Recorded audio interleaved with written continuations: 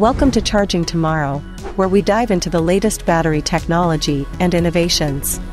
LG Energy Solution is at the forefront of creating a sustainable industrial ecosystem, managing every stage of a battery's life, from the procurement of raw materials to disposal and recycling. In this episode, we take a closer look at the recycling process of the BaaS business and LG Energy Solutions waste management practices. First, any battery that fails to measure up to strict remanufacturing or reuse standards is classified as recyclable.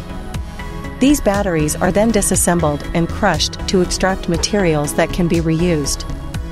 This is key to preventing resource depletion and supporting a circular economy. LG Energy Solution is building a closed loop system to produce new batteries from recycled materials.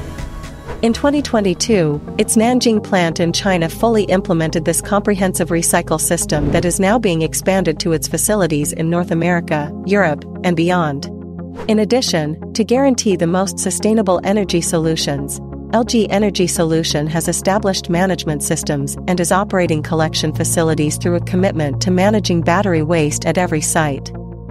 The Nanjing plant has even been recognized for achieving a 100% resource recycling rate, while LG Energy Solution Michigan has obtained zero waste to landfill certification. Furthermore, new technology has boosted the recycling rate of waste NMP from 80% to 97%, significantly reducing hazardous waste.